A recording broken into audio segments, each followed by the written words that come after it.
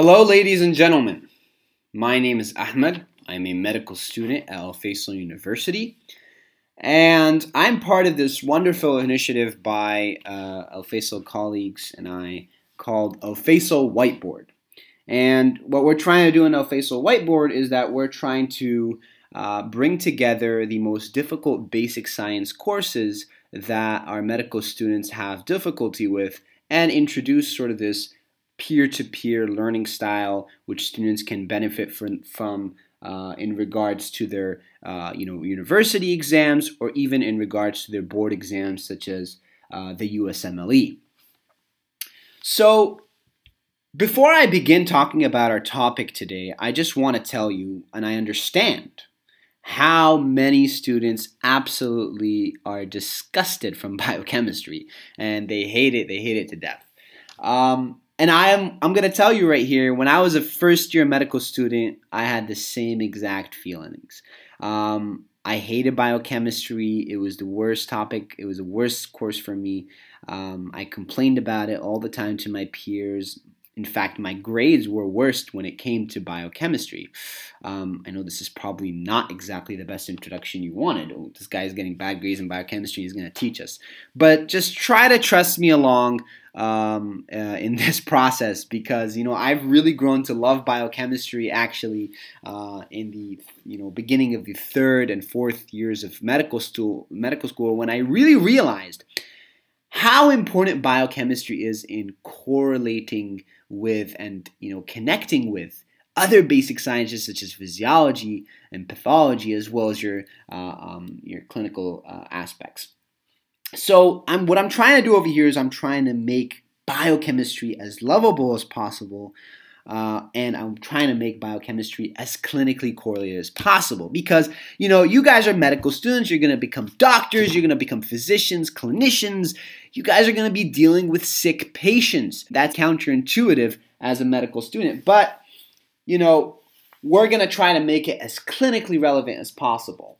So let's get started. Bismillah.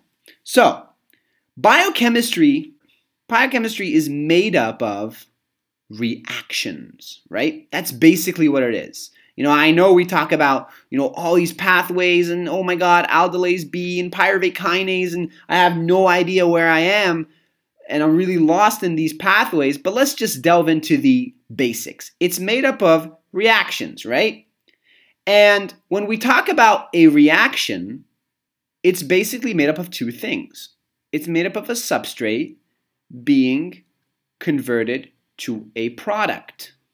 All right? It's made up of substrate being converted to a product, S to P, right? So, in the conversion of a substrate to a product, there are two important aspects that we need to talk about. The first aspect that we need to talk about is what we refer to as thermodynamics. Let's put this in red right here. Thermodynamics of a reaction. And the other aspect that we need to talk about are the kinetics of a reaction. Now let's talk about each of these individually. The thermodynamics of a reaction, they answer a question. And the question they answer is is in the conversion of S to P, will S be converted to P? I mean, that's, that's the first thing. If you want a reaction, if you want a reaction, a reaction needs to happen, right? I mean, that's the first thing you ask yourself. Will S be converted to P? And the answer to this is what is the energy that is required in order to convert S to P. What is the energy required to complete a reaction? That's what thermodynamics talks about. Now, what kinetics talk about are they talk about the rate of a reaction or the velocity of the reaction. How fast will this reaction happen? So they talk about how fast the reaction will happen, not about whether the reaction will happen or not. The reaction better happen. So if it is happening, we need to understand how fast it's going to happen. So the energy required to form a reaction is what we call the delta G, or what we call the Gibbs free energy. All right, that's why it's called G. Delta G refers to the Gibbs free energy. And the, the rate and the velocity of a reaction is actually governed by what? You know, in, in biochemistry, you always see what? You always see S converted to P, but there's always that annoying enzyme in the middle right here. And it's just so annoying because you got to memorize its name. What on earth do these enzymes do? Well, what these enzymes do, and we're going to talk about that in more complexity, the enzymes, they govern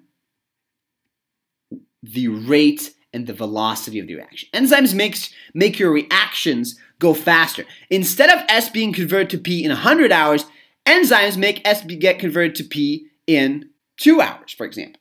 All right? Now, I'm sure you're thinking right now, he put delta G.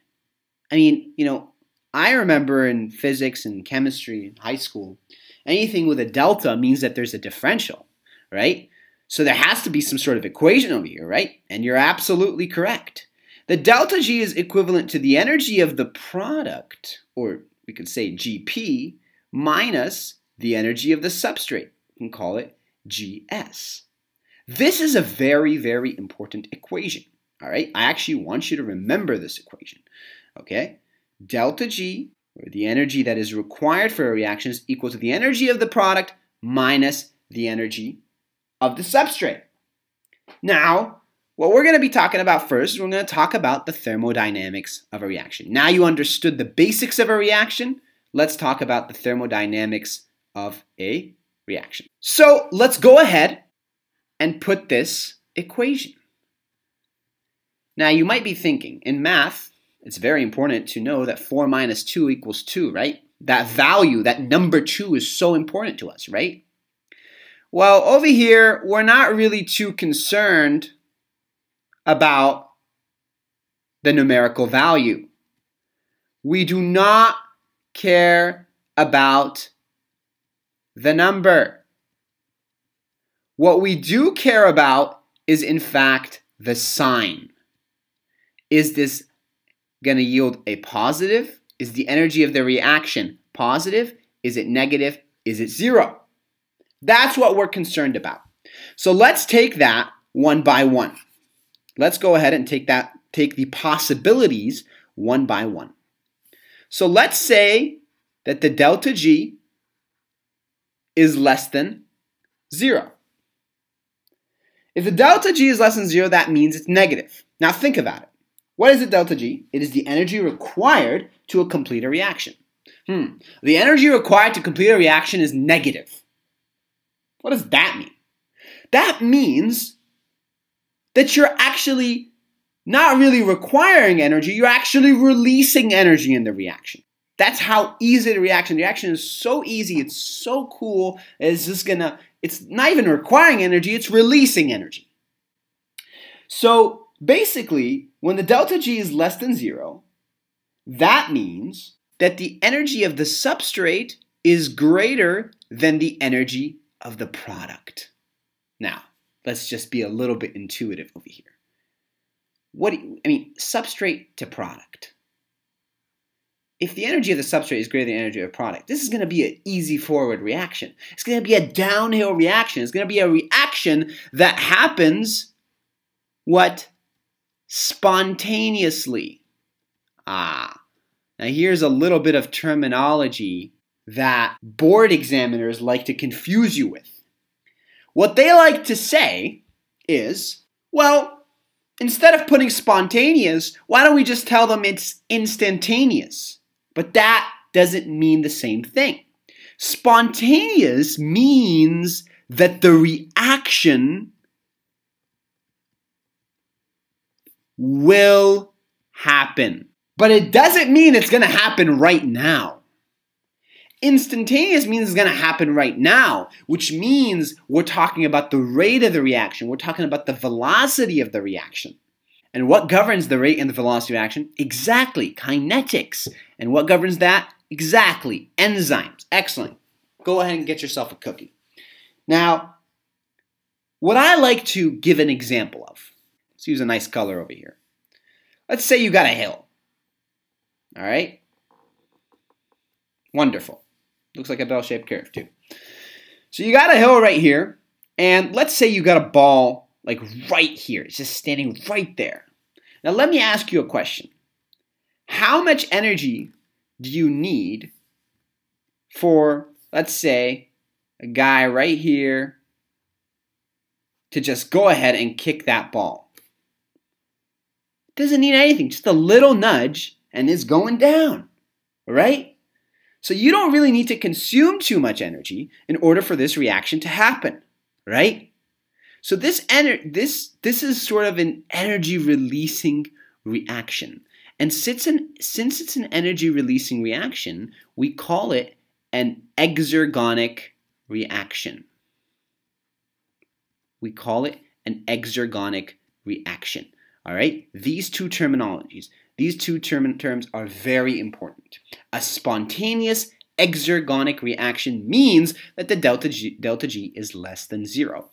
Exergonic means that the energy that's being released is greater than the energy that's being what consumed. After all, this is a differential. All right? The energy that's being released is greater than the energy that's being consumed. This is what we refer to as a spontaneous exergonic reaction. Let me give you another example for this. Let's say you got a cell membrane. This is the intracellular environment. This is the extracellular environment. And let's take the wonderful cation sodium. Let's say you got three sodiums outside and one sodium inside.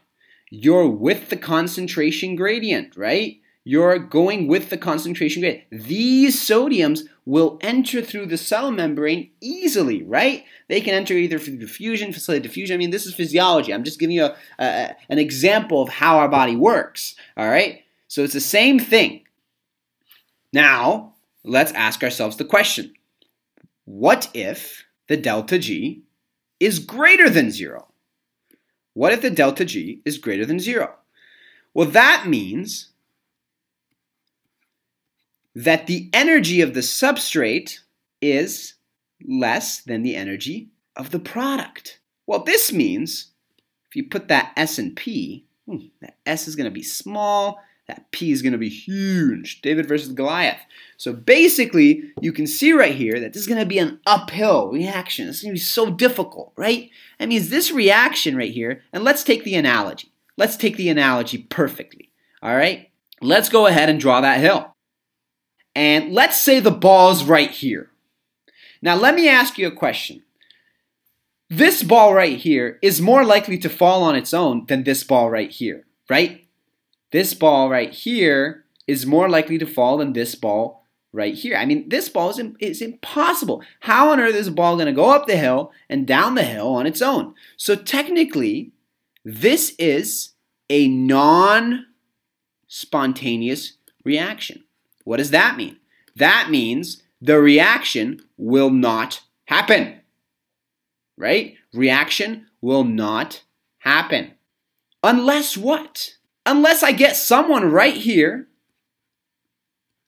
to go ahead and really, really push. he doesn't give a nudge. He really needs to push that ball up and down the hill. So basically, this is an, a reaction that requires energy that consumes more energy than it releases. And that's why we call it an endergonic reaction. Remember, exer means what? From exo, which means outside, means it's releasing energy, correct? This is an endergonic reaction. So basically, the energy being consumed is greater than the energy being released. You need so much energy to get that ball up right? Now think about it. If this reaction will not happen unless there is energy, then what does that mean? That means that it needs energy from another reaction. I mean, where on earth are you going to get energy from? Well, if you think about it right now, you intuitively, and any endergonic reaction requires an exergonic reaction that is releasing energy. If, if an endergonic reaction is not going to happen unless there's energy, then we need an exergonic reaction associated with it that will release energy, and that energy can be used by the non-spontaneous endergonic reaction in order for that reaction to happen. Here's the equivalent for the cell membrane. Let's say you got a cell membrane right here. Again, intracellular environment, extracellular environment. Let's, for example, now take the cation potassium. We all know potassium is rich intracellularly, right? Now, it's against the concentration gradient. Potassium is not going to diffuse inside, right? Never, ever. It's not going to diffuse unless you got some special thing over here that's present in all cells, right? You got this special thing right here called a what? A sodium potassium pump. I'm just giving an analogy over here. This is your physiology, but I'm giving an analogy. A sodium potassium pump that will bring potassium inside and pump sodium outside. And we call it a sodium potassium what? ATPase, meaning that it's utilizing energy in order for this potassium to enter. Any uphill battle requires more energy. All right. Now, there's another possibility. Now that you've understood the delta G minus 0 and the delta G uh, greater than 0, what if the delta G is equal to 0? I mean, what does that mean? If the delta G is equal to 0, this means this is a reversible reaction. All right, this is an this is a reversible reaction. So basically, if you have substrate to product, I mean, product can become substrate. All right, or you can say A to B, B to A. All right, these are the essences of the Gibbs free energy.